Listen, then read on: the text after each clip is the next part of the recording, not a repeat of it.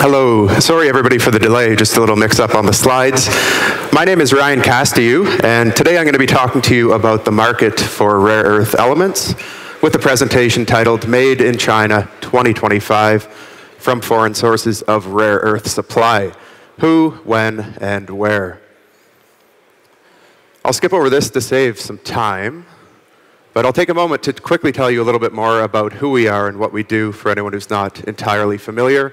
We are an independent research and advisory firm that I founded in 2012 to help clients make informed decisions involving strategic metals and minerals. Our clients include exploration and mining companies, institutional investors, government agencies, as well as other advisory firms.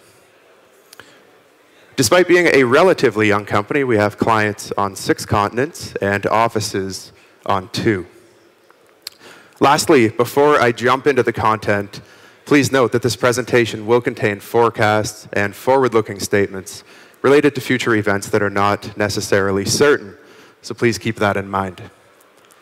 On that note, I'll kick off the presentation with an overview of two important strategic initiatives that are currently underway in China that will fuel a surge in rare earth demand in the years to come. In May of 2015, China's Ministry of Industry and Information Technology unveiled the Made in China 2025 initiative. Essentially, it's a 10 year plan to transform China from a low tech manufacturing giant specialized in parts assembly and integration into a high tech manufacturing superpower, the likes of Germany, South Korea, and Japan. A key facet of this initiative is a goal to raise the domestic content of core components and materials used in manufacturing to 40% by 2020 and 70% by 2025. This will translate to strong demand growth for certain rare earth elements, particularly those used in permanent magnets, which are used in a vast array of different parts and components motors and actuators, sensors and controls, and other end uses and applications. The second initiative currently underway in China is what we like to call the Spent in China 2025 initiative. Essentially, a fun, or fundamentally a policy-driven transformation of the nation's economy from one that's reliant on manufacturing and exports to an economy that is increasingly driven by services and domestic spending and consumption. As we can see in both of these charts on the screen, over the past few decades, the contribution of manufacturing to top line GDP in China has gradually declined. But at the same time, the contribution of services to GDP in China has increased steadily. So, by all means, the transformation to a services led economy is well underway. And we now expect to see domestic consumption making a growing contribution to China's GDP. This will translate to strong demand. Oh, strong demand for a long list of consumer appliances, devices, electronics, and other products that use rare earth elements. In combination, we believe that the Made in China and Spent in China 2025 initiatives will fuel a surge in demand for rare earth permanent magnets. And this will affect applications spanning industrial, urban, residential, and consumer applications. So, on that note, let's take a look at how we see supply and demand unfolding in China for the next few years, and particularly supply and demand of didymium oxide, also known as NdPr oxide, which is the key input material for neodymium iron boron magnets. In a major market study that we published recently, we forecast that China's demand for didymium oxide will increase at a compound annual growth rate of almost 10% through 2025, reaching 57,700 tons. Over the same period, based on production guidance issued by China's relevant ministries, we forecast that production will increase to just 47,800 tons, resulting in the depletion of historically accumulated inventories and ultimately shortages if global production is not ramped up fast enough to support rising demand.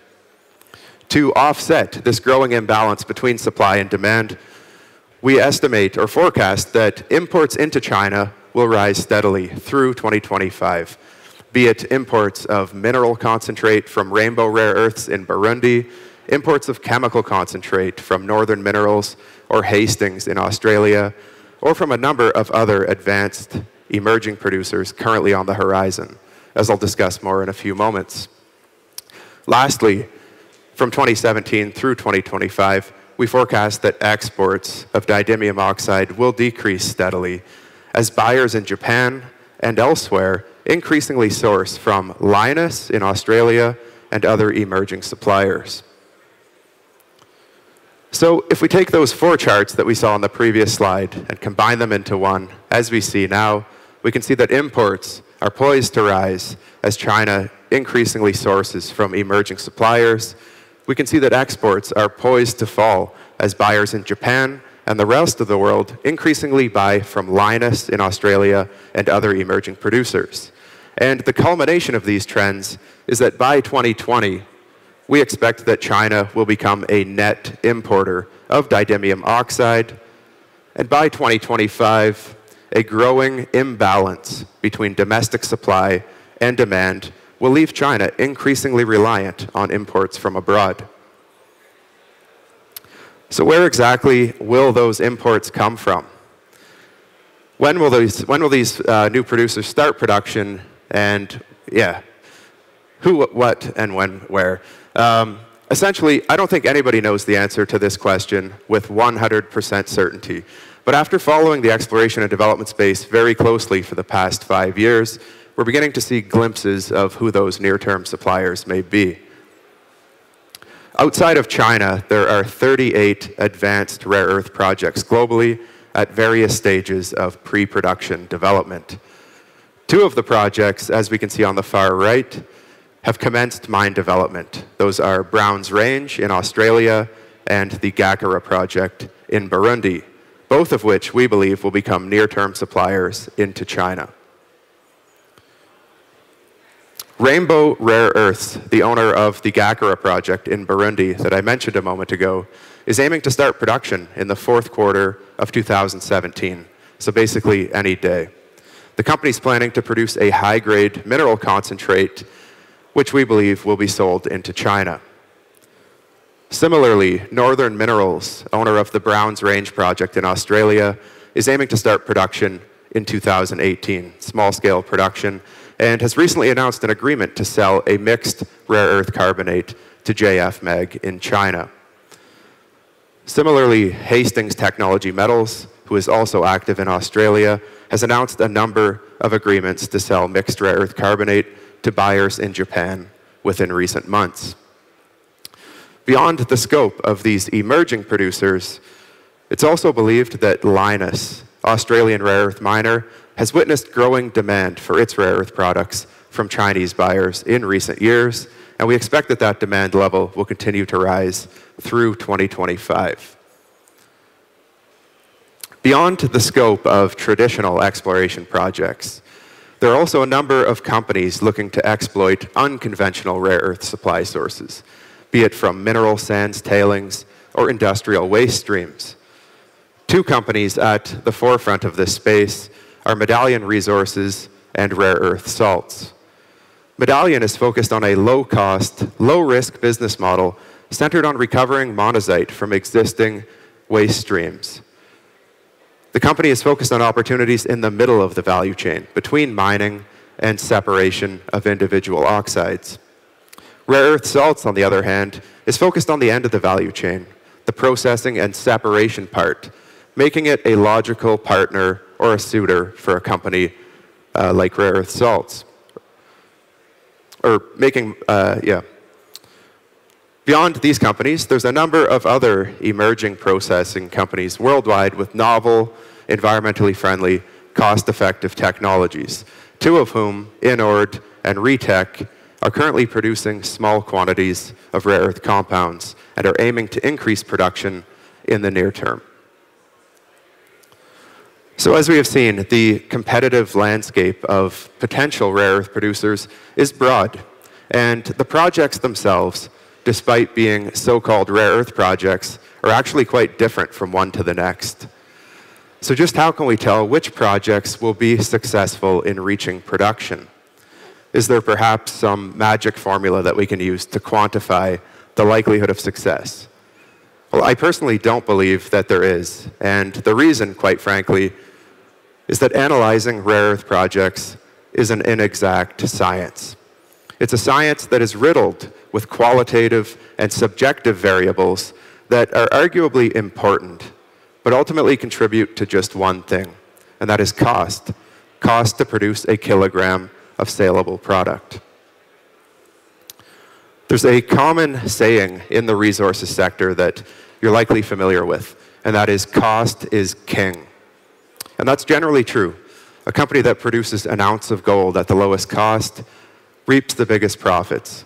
A company that produces a pound of copper at the lowest cost makes more money than its peers. But in the rare earth space, because the value of each producer's output differs, cost may be king, but profit margins are his master. So, in other words, rare earth projects do not compete on cost the way traditional mining companies do. They compete on profit margins. And I'll explain. Shown on the slide is a cost curve showing the projected production cost and product value of the advanced projects we looked at earlier.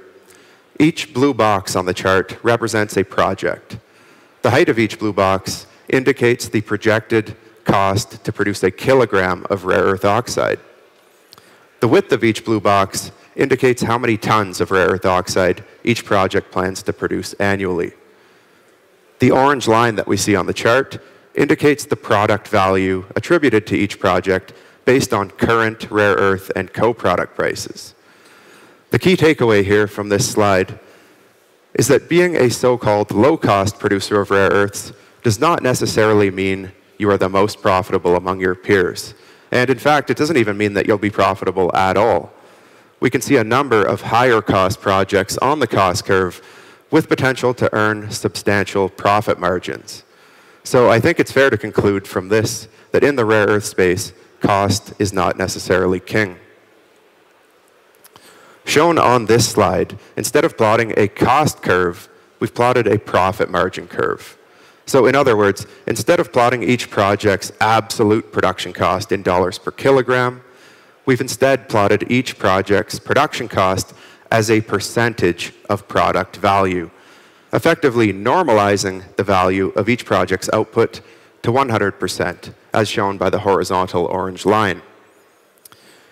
The key takeaway here before I wrap up my presentation is that at current rare earth prices, there are a number of projects globally including Commerce Resources, who we will hear from next, with potential to earn a healthy pre-tax profit margin, suggesting that there is indeed a real financial incentive to develop new rare earth mines outside of China.